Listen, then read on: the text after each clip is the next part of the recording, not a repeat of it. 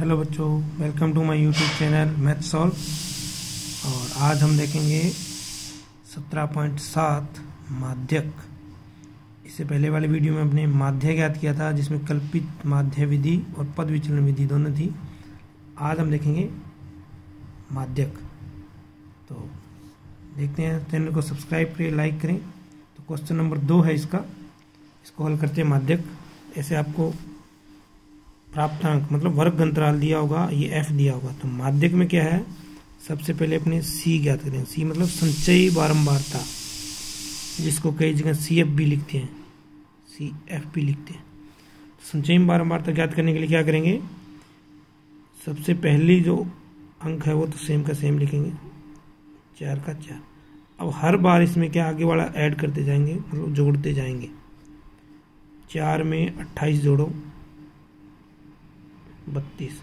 बत्तीस में बयालीस जोड़ो। चौहत्तर। चौहत्तर में बीस जोड़ो। चौरानवे। चौरानवे में छः जोड़ो। सौ, माध्यक में एफ़ दिया होगा। आपको सी ज्ञात करना होगा।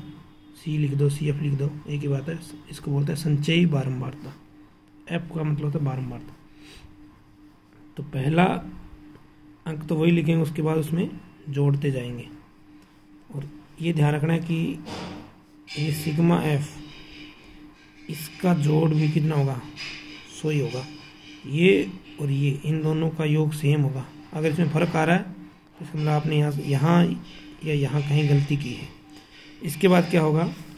अपने सबसे पहले माध्य का सूत्र लिखो। माध्यक equal to L plus N बटा दो माइनस सी अपॉन में एफ़ इंटू एच। अब सूत्र से पता चल रहा है अपने को एन बटा दो चाहिए, एक सी चाहिए, एक एफ़ चाहिए, एक एच और एक एल। तो एन बटा दो, एन मतलब जो यहाँ आखिरी होगा, या ये किसी वो होता है एन। तो सबसे पहले लिखेंगे एन बटा दो मतलब हंड्रेड बटा दो इक्वल टू फिफ्टी, पचास। पचास आ गया। तो यहाँ लिखोगे पचास से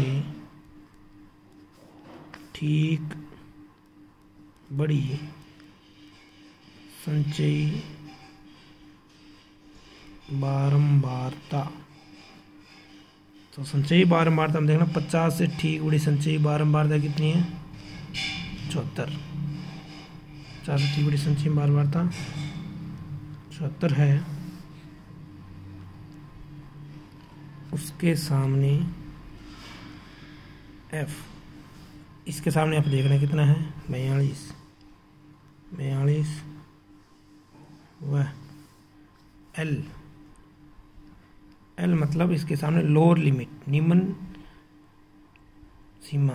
तो कितना हो गया? इन दोनों में से जो निम्न है मतलब बीस है तो होगी बीस होगी। बीस है। ठीक है? तो इसका मतलब एफ़ आ गया अपने पास एल आ गया, और एन बटा दो आई गया। अब अपने को चाहिए सी सी के लिए क्या है? तो उससे ठीक बड़ी संचय बार बार था, उसके ऊपर वाली बार मारता लिखते हैं। कितना है? बत्तीस। तो सी इक्वल टू बत्तीस। ये हर बार ध्यान रखना कि ये जो सी आएगा, वो एन बटा दो से हर बार छोटा ही होगा। कई बार बच्चे गलती करते, चौहत्तर लिख देते। तो यह पचास माइनस चौहत्तर ये माइनस में हो जाता। तो ये ध्यान रखना कि जितना भी एन बटा दो आएगा सी उससे हर बार छोटा ही होगा। तो इसमें देख लो, सूत्र में लिखो पहले एल एल कितना बीस प्लस एन बटा दो एन बटा दो कितना पचास, माइनस सी सी हो गया बत्तीस, अपॉन में एफ़ एफ़ कितना है? बयालीस। इंटू एच एच मतलब ये सेम इनमें कितना कितना अंतर है? तो दस है। बीस प्लस पचास में से अट्ठारह सॉरी पचास में से बत्तीस गई अट्ठारह टू बयालीस इंटू दस। अब आप छः के पाठे में दोनों आ रहे हैं तो छः ये अट्ठारह छः सत, बयालीस। ये आएगा बीस प्लस तीन बट्टा सात इंटू दस। अब क्या करेंगे?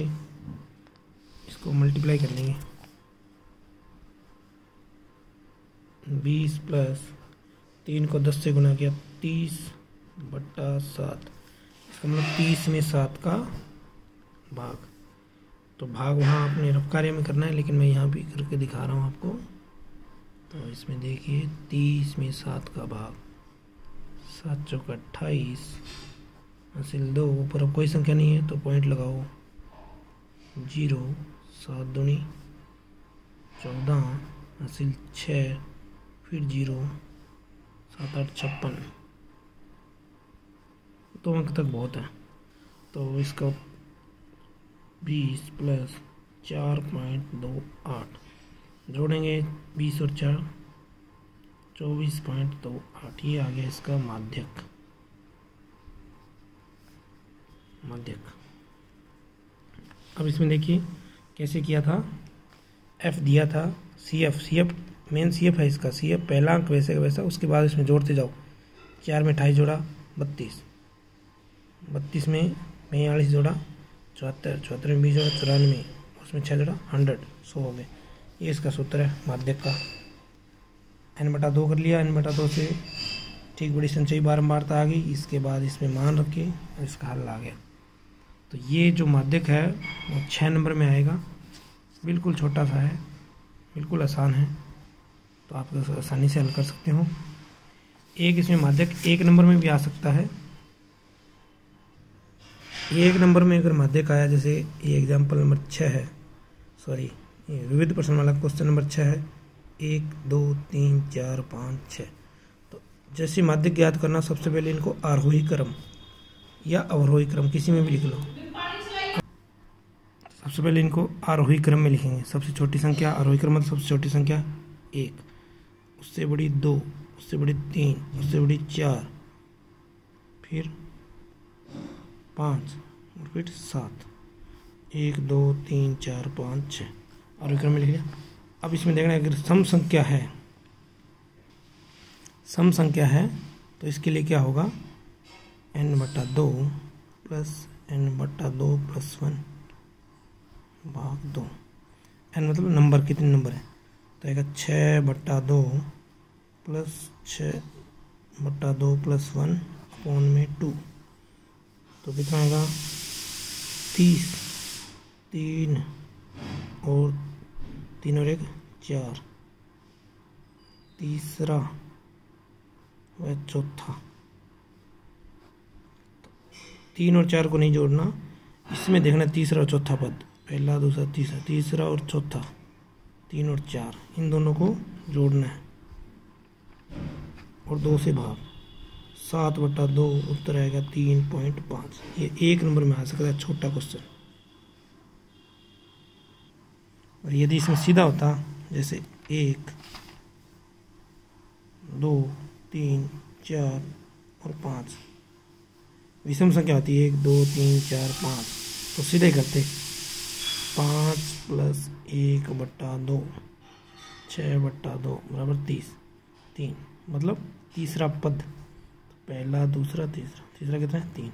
उत्तर आता तीन, सीधा। ठीक है? तो आगे चैनल को सब्सक्राइब कर लें, जिससे कि आगे कोई भी वीडियो इसमें डालेंगे तो आपको नोटिफिकेशन पहुँच जाएगा। आगे अभी सोलहवीं प्रश्नावली है, इनके, अठारहवीं प्रश्नावली इनके वीडियो बनाएँगे।